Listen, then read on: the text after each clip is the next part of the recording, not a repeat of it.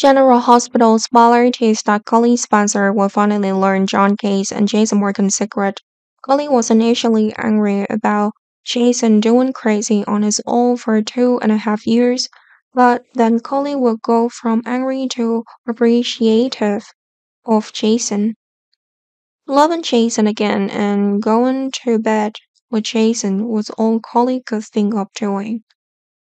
Before Carly decided to turn herself in, fans know that Jason has been working for John, or rather, FBI for a while now. John forced Jason to work as a mercenary in exchange for Carly not being detained for a RICO violation. The 20 years sentence was too much for Carly, Jason thought, and Jason chose to trade.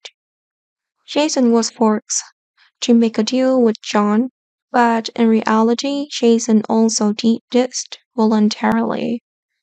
Jason loved Carly.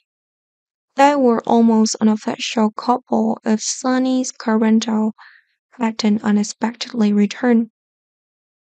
Jason does everything for Carly despite ignoring his family.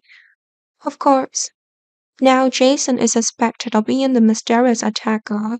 Jason forgave unjustly and endured unjust charges to save Carly, rather than seeing Carly go to prison after the FBI arrived. Carly recently wondered about the secret Jason was hiding, but Jason wouldn't open his mouth to tell the truth.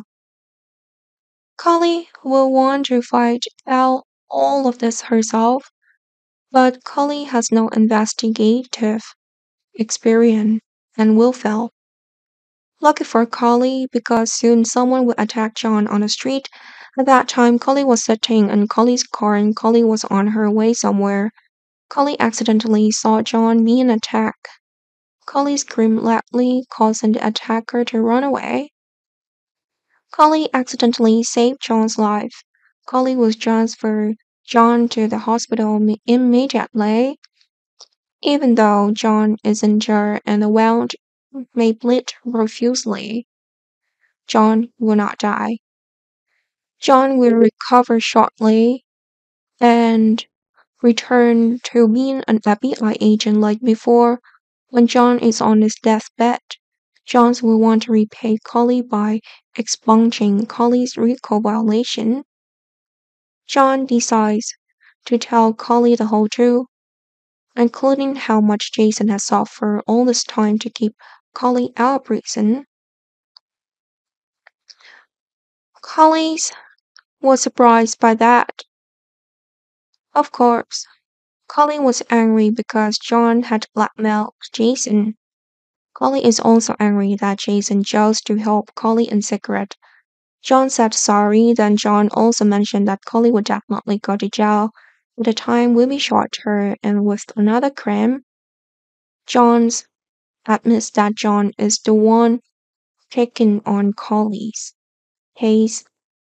John can clear Carly of her RICO violation by creating Another disturbance that means John's superior would definitely be suspicious if Carly is completely innocent.